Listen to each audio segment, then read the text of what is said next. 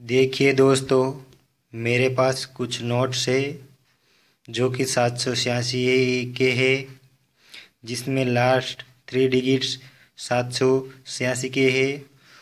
उसमें दो हज़ार के नोट से जिसके पीछे सात सौ छियासी लिखे हुए हैं।